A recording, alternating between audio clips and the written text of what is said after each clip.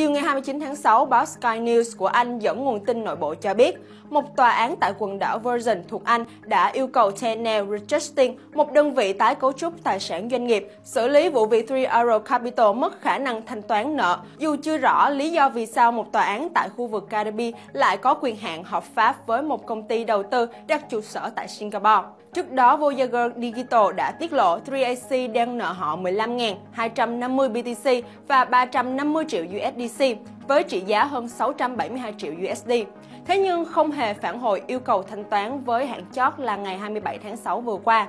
Do đó, Voyager đã tuyên bố rằng 3AC đã vỡ nợ và sẽ có những hành động pháp lý cần thiết để đòi lại tài sản. 3AC đã chịu thiệt hại nặng nề sau cú sụp đổ của Luna UST vào tháng 5, tiếp đó bị thanh lý tài sản ồ ạt khi thị trường tiếp tục điều chỉnh vào tháng 6.